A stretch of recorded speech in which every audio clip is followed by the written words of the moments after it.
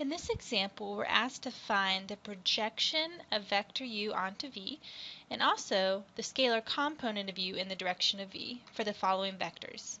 u is a vector, uh, 1, 4, and then v is a vector, negative 2, 1.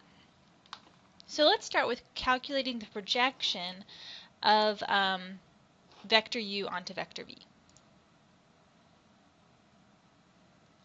So what this means, just to review, um, is we're asking ourselves um, how much of vector u points in the direction of v. Um, and our answer here to this projection is going to be a vector. Um, so if you recall, there are a few different formulas for computing this. Um, so let me write those down so we can reference them. So the projection of u onto v is given by magnitude of u cosine theta times vector v over the magnitude of vector v.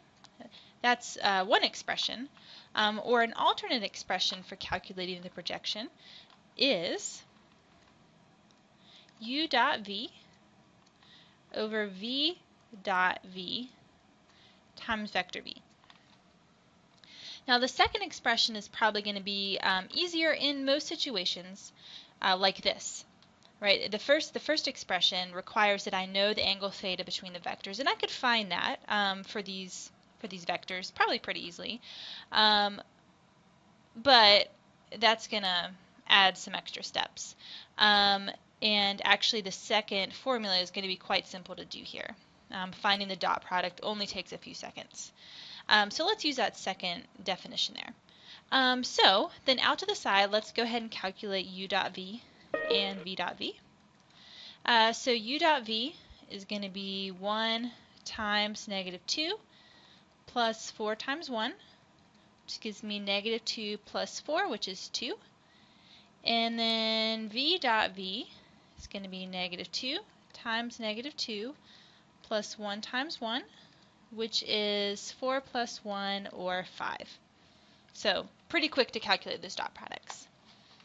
All right, so then we just fill into our formula here.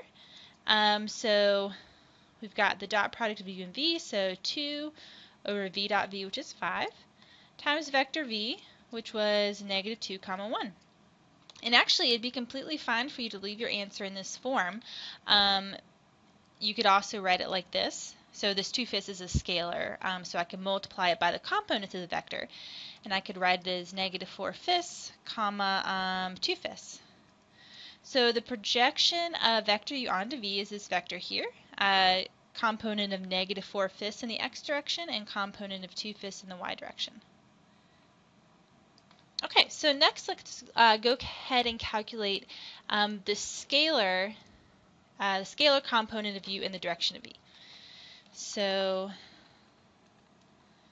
um, once again, there's a few different expressions um, for this. So one is um, uh, magnitude of u times cosine theta, uh, or an alternate expression is u dot v divided by the magnitude of v. So once again, because we don't know theta, um, let's use this alternate expression u dot v over magnitude of v. Now we already know u dot v, uh, we just calculated that. Um, the only thing we need is the magnitude of v. So the magnitude of vector v is going to be the square root of negative 2 squared plus 1 squared, which is the square root of 5. Okay, so if I plug it in my formula, u dot v is 2, magnitude of v is square root of 5. So the scalar component of vector u in the direction of vector v, in this case, is 2 over root 5.